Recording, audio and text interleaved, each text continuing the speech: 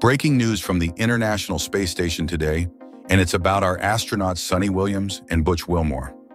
Remember when their eight-day mission turned into a months-long stay? Well, I've got some exclusive information from Eric Berger at Ars Technica that's going to change everything we thought we knew about their return timeline. Here's the story that's been unfolding behind the scenes. While Butch and Suni have been up there since June, SpaceX has been wrestling with some unexpected challenges with their newest Dragon spacecraft. But before we get into those details, let me share something that caught my attention. NASA has been quietly making some major moves that could bring our astronauts home by March 19th. That's two weeks earlier than anyone expected. You might be wondering, why the sudden change? Well, this is where things get really interesting. It turns out there's been a complex dance of spacecraft scheduling, technical hurdles, and critical supply management happening at NASA that most people don't know about. And trust me, when you hear how all these pieces fit together, you'll understand why this mission has become one of the most fascinating stories in current space exploration. What makes this even more compelling is how it's affecting other missions, including a groundbreaking private space venture. We're talking about schedule shifts that could reshape the entire spring launch calendar, and I've got all the insider details to share with you. Welcome back to Elon Musk 24 Hours, where you get the latest updates on everything happening in space exploration. Let's dive right in. The story of Butch and Suni's extended stay on the International Space Station is more than just a tale of delayed schedules and technical challenges. It's a testament to human adaptability, the complexities of modern spaceflight, and the intricate dance of decisions that keeps our astronauts safe in the harshest environment known to humanity. Their journey has become a defining moment in modern space exploration, highlighting both the remarkable progress we've made and the challenges we still face in our quest to reach for the stars. Let's start with what's happening right now. According to Eric Berger's latest reporting, NASA has been orchestrating a complex series of moves behind the scenes that will bring our astronauts home by March 19th. This isn't just a simple schedule adjustment, it's a carefully choreographed solution to a problem that's been building since last June, when what should have been an eight-day stay transformed into a mission spanning nearly 300 days in space. To put this in perspective, that's longer than it would take to travel to Mars, and our astronauts have spent this time conducting critical research and maintaining the space station while dealing with the psychological and physical challenges of extended spaceflight. But here's where the story takes an unexpected turn. The reason for this early return isn't what you might think. It's not about politics, as some have suggested, and it's not about any immediate danger to our astronauts. Instead, it's about a technical challenge that's been quietly developing with SpaceX's newest Dragon spacecraft, C-213, the final vehicle in their impressive Dragon fleet. This situation has revealed the intricate web of dependencies that modern space operations rely on, where a single technical issue can cascade through multiple missions and affect the plans of both government agencies and private companies. Think about this for a moment. SpaceX has been building and testing C-213 as their newest and last Dragon spacecraft. This vehicle was supposed to make its debut with the Crew 10 mission, carrying four fresh astronauts to relieve Butch and Suni's crew. But in December, something changed. NASA announced a delay, pushing Crew 10 to late March, which would have kept Butch and Suni in space until early April. The reason? A technical issue with C-213's batteries that's proven more challenging to resolve than initially expected. This seemingly straightforward problem has sparked a chain reaction that's forcing NASA and SpaceX to completely reorganize their carefully planned schedule of missions.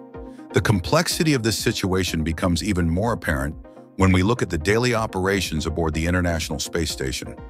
Each day requires precise coordination of resources, from the oxygen generation systems to water recycling, from food supplies to waste management.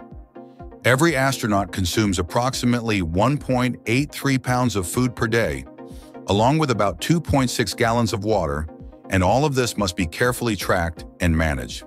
When mission timelines extend unexpectedly, as they have for Butch and Suni, it puts additional strain on these carefully calculated resource margins. This is where the story gets really interesting, and it shows just how complex space operations have become. NASA and SpaceX found themselves facing a critical decision, They could either wait for C213 to be ready, which might not happen until late April, or they could completely reorganize their carefully planned schedule of missions. They chose the latter, and here's why. The space station was approaching what NASA calls red lines on essential supplies like food and water. These aren't arbitrary limits. They're carefully calculated thresholds that ensure the crew's safety even in worst-case scenarios, like if a resupply mission fails or gets delayed. Let me put this in perspective. The International Space Station isn't just a scientific laboratory. It's a carefully balanced ecosystem where every supply, every docking port, and every crew rotation must be precisely timed. When one piece of this complex puzzle shifts, it creates a ripple effect that touches everything else. NASA's decision to bring forward the C-210 vehicle, nicknamed Endurance, from its planned private Axiom 4 mission shows just how serious these considerations are. This decision wasn't made lightly. It required careful coordination with multiple partners and a complete reassessment of mission priorities. The impact of this decision extends far beyond just Butch and Suni's return. The Axiom 4 mission, representing the growing commercial presence in space, now needs complete rescheduling. This isn't just about moving dates on a calendar, it involves coordinating with international partners, adjusting training schedules, reorganizing cargo manifests, and ensuring that all safety protocols are maintained throughout these changes. Each adjustment requires careful consideration of multiple factors, from the orbital mechanics that determine possible launch windows to the complex logistics of crew training and quarantine procedures. But there's an even more fascinating aspect to this story that shows how interconnected modern space operations have become. The changes also impact the groundbreaking FRAM-2 mission, led by crypto billionaire Chun Wang. This isn't just another private space mission, it's set to be the first human spaceflight mission to enter a polar orbit, pushing the boundaries of what private space exploration can achieve. The mission will now use the Dragon spacecraft Resilience C-207 which has already been refurbished and proudly displays the FRAM2 logo on its side. This quick adaptation shows the incredible flexibility of modern space operations and the growing sophistication of private space ventures. The FRAM2 mission itself deserves special attention because it represents a new frontier in space exploration. The planned polar orbit isn't just a technical achievement, it's opening up new possibilities for scientific research and Earth observation. The mission's timing was carefully planned to take advantage of specific lighting conditions over the South Pole, which makes the schedule disruption particularly significant. When Chun Wang mentioned losing the South Pole in daylight, he was referring to the complex orbital mechanics that determine when and how their mission can achieve its scientific objectives. Speaking of scientific objectives, let's talk about what Butch and Suni have been doing during their extended stay. Their mission has included crucial research in microgravity environments, studying everything from human physiology to material science. They've conducted experiments that could help us better understand diseases on Earth, tested new technologies for future space exploration, and maintained the complex systems that keep the International Space Station functioning. Their extended stay, while unplanned, has provided valuable data about long-duration spaceflight that will be crucial for future missions to Mars and beyond. The timing of their return is particularly crucial because it intersects with multiple competing priorities. NASA isn't just managing crew rotations. They're orchestrating a complex ballet of cargo missions, private flights, and essential station maintenance. Every decision must balance crew safety, station supplies, scientific research, and the growing commercial space sector. This balancing act has become increasingly complex as more private companies enter the space industry, each with their own missions and objectives that need to be coordinated with existing operations. This situation also reveals something important about the evolution of space travel. We're in an era where commercial providers like SpaceX aren't just supporting NASA's missions, they're integral to the entire space operation. When a technical issue arises with a Dragon spacecraft, it doesn't just affect one mission, it creates a cascade of adjustments that ripple through the entire space program. This interdependence between public and private space operations is a relatively new phenomenon, and it's changing how we approach space exploration. The resolution of this situation demonstrates the incredible flexibility and problem-solving capabilities of modern space operations. NASA's decision to swap vehicles and adjust mission timelines shows how far we've come from the rigid schedules of early spaceflight. Today's space program can adapt and reconfigure complex mission plans while maintaining the highest safety standards. This flexibility is crucial as we move toward more ambitious goals in space exploration, including returning to the moon and eventually sending humans to Mars. Looking at the bigger picture, this situation highlights the increasing complexity of managing space operations in an era where commercial, government, and private missions all share the same infrastructure. The International Space Station has become a hub of international cooperation and commercial activity, requiring careful coordination between multiple partners with different objectives and priorities. The fact that NASA can juggle these competing priorities while ensuring crew safety and mission success is a testament to how far space operations have evolved.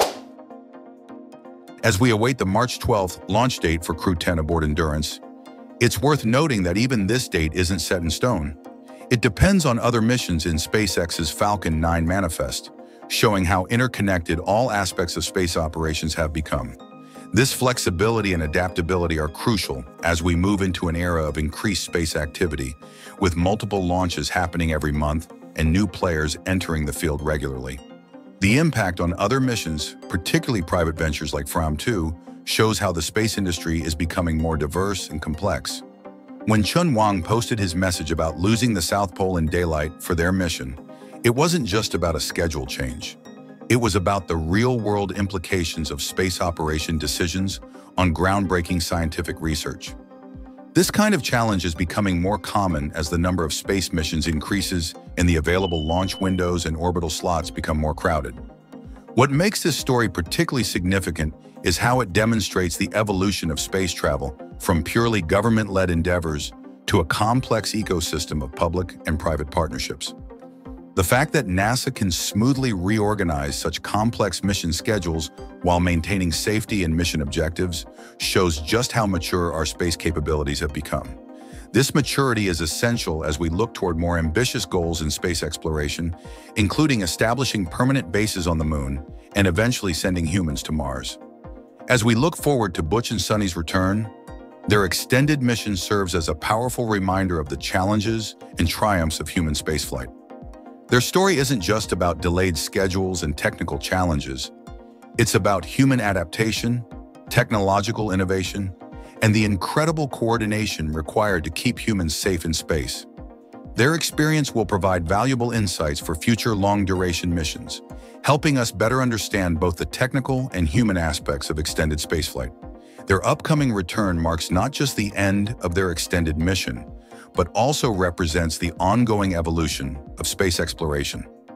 As we continue to push the boundaries of what's possible in space, the lessons learned from managing this complex situation will inform future missions and help shape the future of human spaceflight.